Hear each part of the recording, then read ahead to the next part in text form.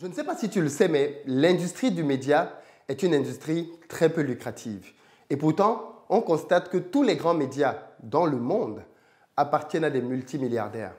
Comment expliquer donc que des personnes qui sont très bonnes en affaires, qui savent réellement où investir pour gagner gros, se retrouvent à tous racheter des investissements qui vont leur faire perdre de l'argent?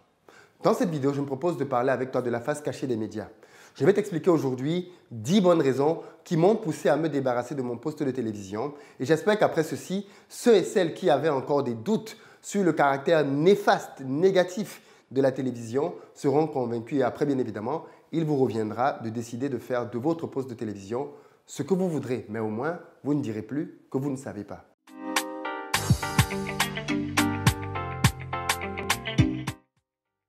Salut à toi et bienvenue sur ma chaîne. Moi, c'est Philippe Simo et ici, je te parle d'entrepreneuriat et d'investissement parce que je suis convaincu que ce sont les deux piliers sur lesquels la communauté noire doit s'appuyer si elle veut émerger. Donc, si toi aussi tu veux faire partie de cette belle aventure, gagner ta liberté financière, je t'invite à faire deux choses. La première, abonne-toi à cette chaîne et active toutes les notifications. Ainsi, tu seras informé de l'apparition de toutes nos vidéos quotidiennes comme celle-ci qui vont t'apporter du très bon contenu business pour t'aider à te lancer et à réussir dans les affaires.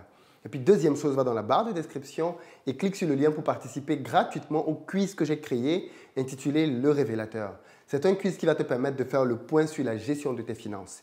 Il va te permettre de déterminer où est-ce que tu en es par rapport à comment tu gères ton argent. Et crois-moi, tu seras grandement surpris. Et puis enfin, pour ceux d'entre vous qui sont prêts à se lancer, à créer des business et à passer à l'étape supérieure, rendez-vous sur mon site investiropayes.com. Vous y trouverez une batterie de formations que j'ai créées prêtes à l'emploi qui vont vous donner les outils pour vous permettre de commencer à augmenter vos niveaux de revenus. Enfin, ceux d'entre vous qui sont au Cameroun, au Sénégal et en Côte d'Ivoire, j'arrive dans les très prochains jours pour des journées de formation business intenses dédiées à votre pays. Donc Dakar, c'est imminent, c'est la semaine prochaine, je, je, débarque à Dakar et le samedi 1er août, on aura une formation intense au cours de laquelle je vais vous expliquer quelle stratégie mettre en œuvre pour augmenter votre patrimoine. Ensuite, on ira le 8 à Douala au Cameroun pour une journée de formation intense là aussi, dans laquelle je partagerai avec vous les meilleures stratégies à mettre en œuvre pour faire décoller votre business, notamment au niveau des ventes. On reproduira cette formation-là à Abidjan le 22 août. Si vous êtes dans l'un de ces trois pays, dépêchez-vous de prendre votre place parce qu'il n'en reste plus beaucoup. Et puis si vous avez de la famille dans ces pays-là, prenez de la place pour eux. Je le répète sans cesse ici, c'est le meilleur investissement que vous puissiez faire dans leur vie apprenez-leur à pêcher et arrêtez de leur donner des poissons. Ceux qui me suivent ici savent que ça fait beaucoup d'années que j'ai vendu ma télévision. Et j'espère que tout comme moi, au terme de cette vidéo, vous allez vendre la vôtre. En tout cas, c'est le challenge que je me propose de relever en vous exposant 10 bonnes raisons de vous débarrasser tout de suite, rapidement, immédiatement de cet outil de très très grande manipulation. Raison numéro 1, les riches ne regardent pas la télévision. Peut-être que quand je dis ça, tu peux être surpris, alors tu te dis que j'exagère, que je ne connais pas forcément tous les riches. Écoute pourquoi est-ce que je suis convaincu que les riches ne regardent pas la télévision?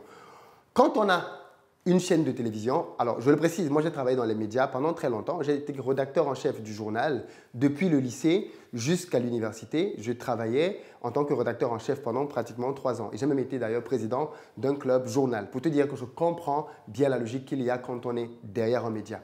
ce qui se passe quand on est derrière un média, c'est que le contenu que l'on met dans son média est pensé pour s'adresser bien évidemment à notre audience, à notre lectorat, aux personnes qui regardent ce que l'on propose. Et la meilleure manière de savoir à qui est adressée une euh, chaîne de télé, c'est de regarder le type de programmes qui y sont faits et surtout les publicités qui y sont faites.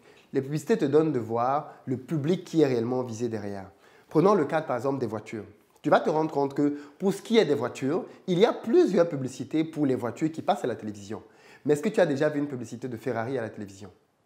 Est-ce que tu as déjà vu une publicité de Lamborghini à la, télévision? Ou même une publicité de Maserati?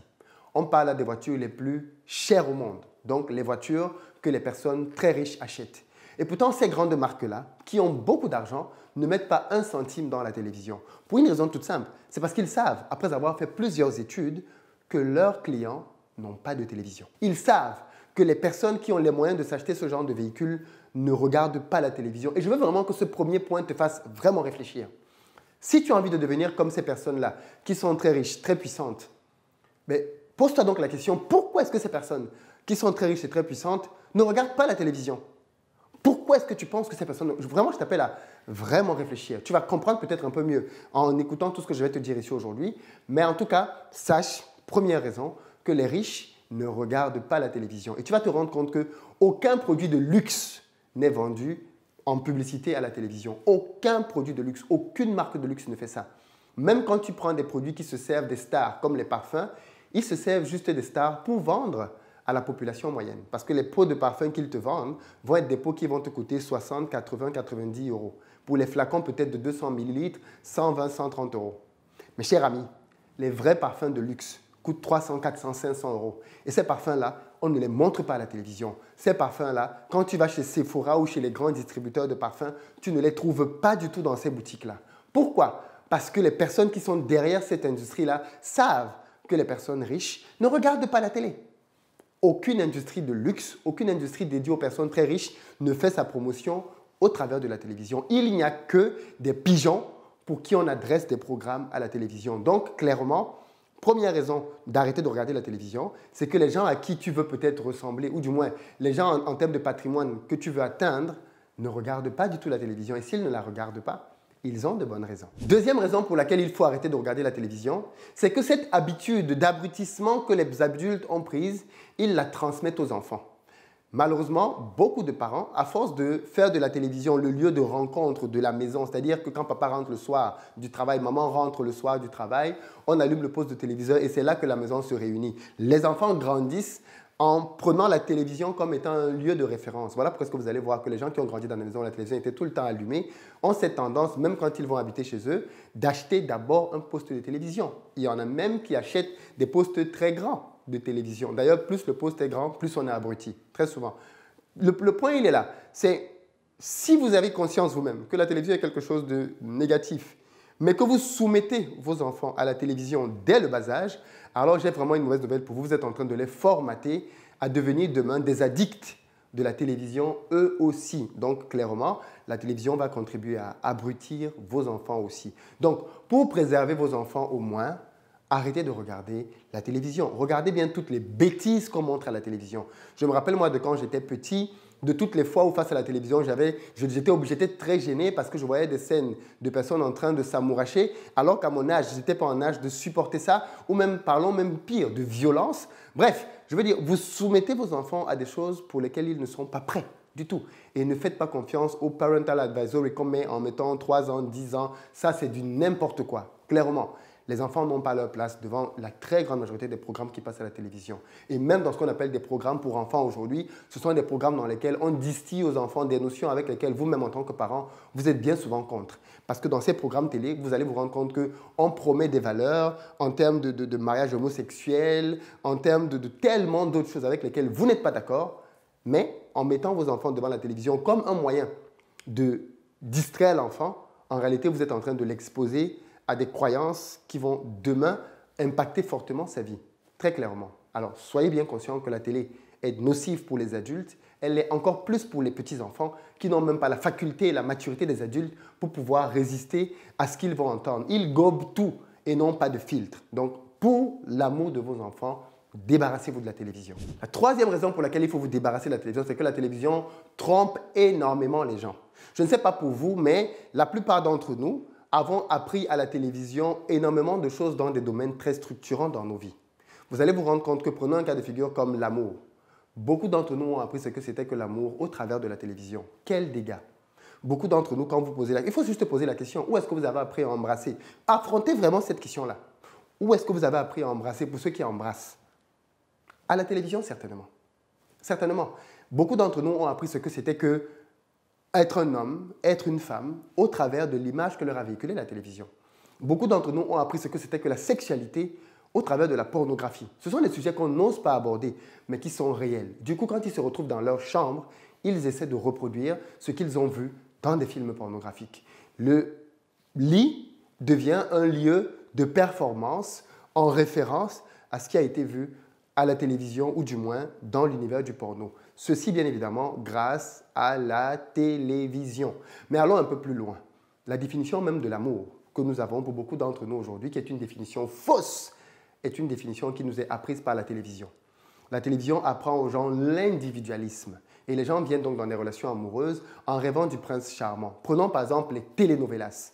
Et les telenovelas, il y en a plusieurs, hein. que ce soit en Europe, en Asie, partout en Afrique. Les telenovelas ont rempli la planète. Amour, gloire et beauté, c'est une grosse telenovelas. Et je ne parle même pas des autres telenovelas qu'il y a en Afrique, Marimar et autres. Ce sont des telenovelas qui remplissent les esprits des gens, mentent aux gens sur ce que c'est que la vie, ce que c'est que l'amour. Vous avez des telenovelas qui, quand elles démarrent, les rues se vident. Il n'y a même plus une mouche dehors parce que tout le monde va se regrouper autour du petit écran pour se laisser abrutir par la nouvelle star brésilienne, par la nouvelle star américaine qui est en train de passer à la télévision. Et ceci, bien évidemment, est très grave, parce que c'est aussi ça qui fait que derrière, on a des couples brisés. C'est aussi ça qui fait que derrière, on a des couples monoparentaux, parce qu'on est allé avoir une certaine vision de l'amour que l'on n'a jamais pris le temps de réellement penser soi-même, mais qui nous a été clairement inculqué et donc de fait manipulé par le petit écran. Ce sont des sujets très très profonds que j'aborde là. Mais de toutes les façons, dans cette vidéo, je vais choquer beaucoup de gens. Ça, je le sais très bien, parce que quand il s'agit de la télévision, et comme dans beaucoup de choses, les gens réagissent souvent quand vous touchez à ce qui leur parle. Et donc, je sais très bien que dans les commentaires, tous les gens qui ont des télévisions et qui, au lieu d'écouter ce que je dis pour répondre argument par argument, vont venir pour défendre leur style de vie, vont simplement se faire plaisir et me bombarder me caillarder. Mais bon, c'est pas grave, j'ai l'habitude. Si cette télévision, si cette vidéo peut aider au moins une personne à comprendre et à sortir de là, j'aurai atteint mon but. Quatrième raison pour laquelle il faut vous débarrasser de la télévision, c'est que la télévision est un lieu de très grands mensonges. Vous n'avez qu'à regarder tous les événements qu'il y a dans le monde et voir à quel point la télévision contribue à mentir aux gens. Mais pourquoi est-ce que la télévision est un lieu d'aussi grands mensonges? Parce qu'elle appartient justement aux personnes les plus riches du monde. Quand vous allez regarder dans tous les pays au monde, les grands médias privés appartiennent aux personnes les plus riches. Télévision, radio, prenez tout ce que vous voulez. Ce sont les personnes les plus riches qui vont vers là. Mais pourquoi est-ce que des personnes aussi riches vont investir leur argent pour acheter des business pas rentables? Pourquoi est-ce qu'un Bolloré va acheter Canal pourquoi est-ce que des familles comme Bouygues, des gens comme Xavier Niel, prenez les grands milliardaires, Lagaffer, tous ont investi dans des médias Pourquoi est-ce qu'ils se battent pour acheter M6 et tous les autres médias que vous connaissez, même TF1 Tous ces médias-là appartiennent aux milliardaires. Pourquoi? Eh bien parce qu'au travers des médias, ils peuvent influencer. Influencer la population, mais aussi influencer les gouvernements. Ils peuvent de fait mettre la pression et faire du chantage à qui ils veulent. Parce que dès qu'ils ont un dossier qui est sur quelqu'un, ils peuvent diffuser. Ils savent qu'en une vidéo diffusée, ils peuvent faire chuter quelqu'un. Ils peuvent faire que les juges viennent faire un procès. Ils peuvent faire ce qu'ils veulent grâce à la télévision. Mais aussi, ils savent que quand ils veulent faire passer quelque chose, ils peuvent se servir de la télévision pour amadouer la population. Parce qu'au travers des médias, bien évidemment, ils peuvent préparer la population à accepter un certain nombre de scénarios catastrophes. Regardez par exemple le confinement. Les médias ont, à force de, bashing, poussé les gens à croire que le confinement était la bonne solution. Et pourtant, quand vous allez regarder en Asie, les pays qui se sont le mieux tirés du coronavirus, ils n'ont pas confiné. Et donc, il faut vraiment, vraiment se poser la question de pourquoi est-ce que des gens qui sont donc très riches, très intelligents pour beaucoup d'entre eux, vont mettre autant de milliards dans des business qui ne rapportent pas d'argent Posez-vous la question. La cinquième raison pour laquelle il faut se méfier de la télévision, c'est que la télévision combat la culture. Oui, vous allez vous rendre compte que le monde est en train de s'américaniser. Les États-Unis ont compris qu'au travers de la télévision, de leur culture, ils peuvent imposer au monde entier leur manière de voir. Je ne sais pas pour vous, et ceci, je ne le dis pas pour, me, pour, pour dire à quiconque ce qu'il doit faire dans sa vie personnelle. Mais j'ai remarqué que la télévision, par exemple, a dénudé les femmes. J'assume ce que je dis. La télévision a dénudé les femmes. Vous allez prendre simplement le cadre de l'Afrique, continent que je connais très bien. À mon époque, quand je grandissais en Afrique, on, accordait une telle importance à la pudeur. Il faut savoir qu'en Afrique, on va à l'école avec des uniformes. Tout le monde avec des uniformes. Donc, on s'habille tous de la même manière. Et les tailles des jupes des filles doivent aller au niveau au minimum du genou. Au minimum. Parce qu'on veut qu'il y ait une certaine décence dans la manière de s'habiller. C'est comme ça que les choses sont codifiées en Afrique. Mais plus les années passent, plus les Rihanna, Beyoncé et toutes ces autres starlettes américaines débarquent sur les écrans de télévision, et plus je vois que nos jeunes sœurs se dénudent de plus en plus, portent des vêtements de plus en plus mini, enfin pour celles qui portent encore des vêtements, parce qu'on en arrive à un stade où on se demande si c'est encore des vêtements qu'elles portent. Mais on a un stade où la télévision, et je le précise, hein, je dis bien dans le cadre de la culture africaine que je connais bien, dénude clairement les femmes. Et c'est très drôle quand j'entends des gens que je questionne sur pourquoi est-ce que vous pensez que ces choses se produisent Et vous avez des gens qui vous laissent penser que euh, oui, mais c'est parce que vous êtes contre les libertés des femmes. Euh, non, pas du tout. Je ne questionne aucunement une liberté de la femme. Les femmes sont libres de faire ce qu'elles veulent. Je demande juste d'où elles ont pris ces idées. Aussi simple que ça. Est-ce que c'est le fruit de leur raisonnement? Ou alors c'est le fruit d'une manipulation? Et je pense que le sujet mérite clairement d'être posé. Une fois de plus, vous vous habillez comme vous voulez. Le but ici, c'est simplement de dire d'où me vient ce raisonnement-là? D'où me vient-il que je dois m'habiller de cette manière-là? Attention, je n'ai pas dit que la télévision n'a pas d'impact sur les hommes. Bien au contraire. La télévision a vulgarisé la violence aussi au niveau des hommes, au travers des films dans lesquels on montre, du moins on montrait, parce que maintenant on en montre peut-être de moins en moins, maintenant la télévision est en train de véhiculer plutôt pas mal de valeurs homosexuelles, mais aujourd'hui le combat des grandes nations, c'est de pousser les Africains à valider les mariages homosexuels en masse, en disant que euh, c'est ça les droits de l'homme, c'est-à-dire que apparemment quand l'Occident valide quelque chose, ceux qui ne le valident pas sont contre les droits de l'homme. Voilà, bref, on connaît très bien le schéma. Hein. Euh, mais dans tous les cas, la télévision est un vecteur au travers desquels on nous fait croire que des choses qui ne sont pas dans notre ADN sont des choses normales. Et ça marche très très fort. Sixième raison pour laquelle il faut se débarrasser de la télévision, c'est que c'est un vecteur de manipulation de masse. Et pour cela, par exemple, il faut juste regarder comment est-ce que la télévision a servi à vulgariser des guerres. Prenons le cas de la guerre en Irak. Vous vous rappelez des scènes dans lesquelles on nous a fait croire à longueur de journée, matin, midi, soir, que Saddam Hussein avait des armes de destruction massive et que la guerre contre Saddam Hussein, c'était une guerre pour la paix? Vous vous rappelez comment est-ce que Kadhafi, qui était quelques mois avant l'ami de la France et de l'Europe, qui était reçu partout en grande pompe parce qu'il commandait des avions militaires, était devenu un ennemi diabolique et que les médias avaient dépeint comme étant le fils de Lucifer Ça, c'est ce que les médias font. Ils savent dépeindre qui ils veulent, comme ils veulent, et faire valider à la population la guerre. Oui, parce que pour qu'un pays aille en guerre, il faut que la population soit d'accord. Il faut que la population le valide. Mais pour qu'une population valide une guerre, parce que quand on va à la guerre, on va perdre des gens à la guerre. Donc, pour accepter que nos familles aillent à la guerre et qu'elles soient sur le point de donner leur vie là-bas, il faut qu'on leur fasse croire que cette guerre-là, c'est une guerre pour des bonnes raisons. On ne peut pas dire aux gens qu'on va faire la guerre pour le pétrole, pour le gaz, on peut pas pour l'uranium, on ne peut pas dire ça. On va dire qu'on va faire la guerre pour la démocratie, pour les droits de l'homme. Et donc pour ça, on va vous montrer qu'il y a quelqu'un là-bas qui combat la démocratie. Il y a quelqu'un là-bas qui combat les droits de l'homme. Mais pour ce qui est de la Libye, je pense, et même pour l'Irak, je pense que l'Irak ne s'est jamais aussi mal porté que depuis le jour où on est venu lui apporter la démocratie grâce à des armes. Mais ceci a été véhiculé par des médias qui ont clairement ouvert le bal pour manipuler la population. Mais ça a été fait en Irak. Mais une fois que les médias l'ont fait en Irak, ils ont vu que ça n'a pas marché. Mais pourquoi est-ce que quand on est revenu en, Libye, les médias ont refait la même chose? Eh Parce que les médias ne sont pas libres, ils ne sont pas indépendants. Bien sûr que non. Ils travaillent pour les grands patrons. Septième élément pour lequel je pense qu'il faut se méfier des médias, c'est que les médias fabriquent clairement les consentements de beaucoup de pays dans le monde entier. Vous allez vous rendre compte que c'est grâce à la télévision qu'aujourd'hui, on a le sentiment que l'Occident est très fort, parce que la télévision est devenue un lieu de propagande. Au travers de la télévision, des films, de la musique, on nous montre à quel point les Américains sont forts, les Américaines sont belles, le blanc est fort, et au final, qu'est-ce que ça produit chez les autres? Ça produit ce sentiment d'infériorité, ça produit ce sentiment de croire que, eh ben, en fait, c'est le blanc qui est capable de faire les choses, à tel point qu'on a même adopté dans notre jargon des expressions du genre c'est le blanc qui est fort, validant le fait que le noir est faible. Et comment est-ce qu'on a pu en arriver là? Parce qu'on nous a montré Superman, on nous a montré Batman, on nous a montré Spider-Man, on nous a montré tous les héros et tous les sauveurs du monde qui étaient des blancs.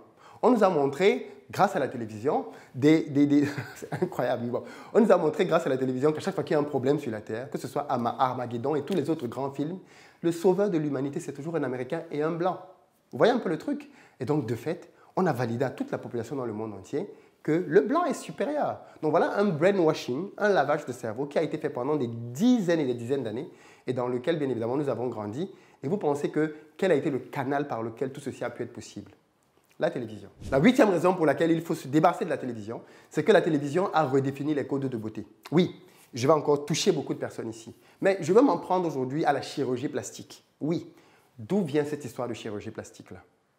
Je connais des influenceurs, enfin je connais, j'ai entendu, j'ai vu des vidéos qui ont été virales à une époque d'influenceuses de la communauté, par exemple, qui faisaient des vidéos pour expliquer à Mondiovision pourquoi est-ce qu'elles s'étaient refait les seins pourquoi est-ce qu'elle s'était refait les fesses? Et la raison qui revenait souvent, c'était une raison bateau hein, qu'on retrouve à la télévision tout le temps. C'est-à-dire quand tu vois quelqu'un qui vient qui te donne l'argument que tu entends à BFM TV, il faut avoir peur. Mais les raisons que ces, que ces sœurs de la communauté donnaient à leur audience, et elles ont une grosse audience, hein, c'était que c'était pour avoir confiance en elles. Elles se sentaient plus belles de cette manière-là. Waouh Ok. Donc en fait, alors attention, que quelqu'un ait une déformation et que la médecine puisse lui permettre d'atténuer ou de redresser cette déformation, C'est totalement normal. Ça, franchement, c'est bien. Mais que quelqu'un, parce que avoir une poitrine d'une taille qui ne nous plaît pas, ce n'est pas une déformation, hein, je le précise, ce n'est pas une déformation du tout, ok? Ou avoir euh, un derrière qui nous semble d'une dimension, pas X, Y, Z, ce n'est pas une déformation. Qu'est-ce qui, d'après vous, explique que quelqu'un aille payer pour qu'on vienne lui mettre dans l'organisme des corps étrangers avec pour but qu'il se sente lui à l'aise. D'où viennent donc les codes de beauté que nous avons intégrés? D'où vient-il donc que nous pensons? Parce que ça, je pense qu'il faut le, faut le questionner. D'où vient-il donc que nous pensons que nous sommes plus beaux, nous sommes plus belles, parce que nous avons une poitrine ceci? C'est-à-dire, d'où vient ce lavage de cerveau? D'où vient-il que la femme belle, c'est la femme au trait XYZ Et ça, ici, je veux interroger les hommes. Parce que si les femmes vont se refaire leur corps, c'est parce qu'il y a des tocards, des, des stupides, des abrutis qui passent leur temps à vénérer une certaine typologie de corps humain, qui passent leur temps à laisser croire que oh, c'est tel type de corps qui est bien, c'est tel autre type de corps qui n'est pas bien. Mais d'où vous viennent vos critères de beauté, chers messieurs? D'où vous vient-il que X est mieux et Z est moins bien? De la télévision. Notre manière de voir la beauté a été complètement façonnée par la télévision. Et donc, de fait, nous mettons une telle pression sur nos sœurs qu'elles finissent, pour certaines d'entre elles, par céder et aller prendre des risques inconsidérés avec pour but d'essayer de plaire à quelques-uns. Alors attention, elles ne vont pas le présenter ainsi. Elles vont te dire, je vais me sentir plus belle. Mais tu te sens plus belle pour qui? Dans quel but? Certaines te diront, oui, pour moi-même. Ok, d'accord, si tu veux. Dans tous les cas, d'où vient-il ce critère de beauté qui te laisse penser que parce que tu as une poitrine X ou un derrière Y, tu es mieux à l'aise avec toi-même?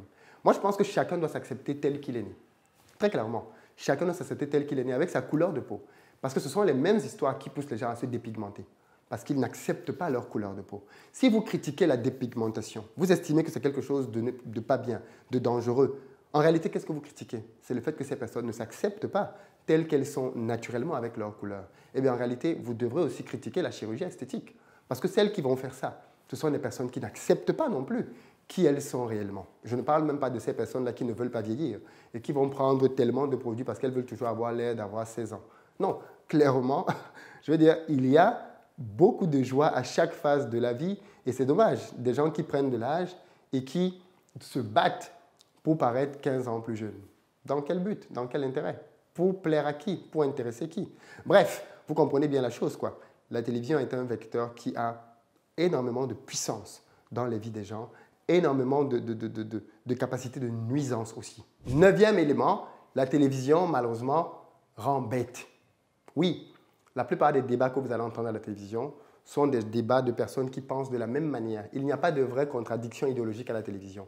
Voilà pourquoi est-ce que vous allez voir qu'on met toujours devant le même écran, devant l'écran, des personnes qui débitent à longueur de journée les mêmes choses. Et si vous pensez différemment d'eux, vous êtes stigmatisé, vous êtes traité de tous les noms, vous êtes écarté des médias.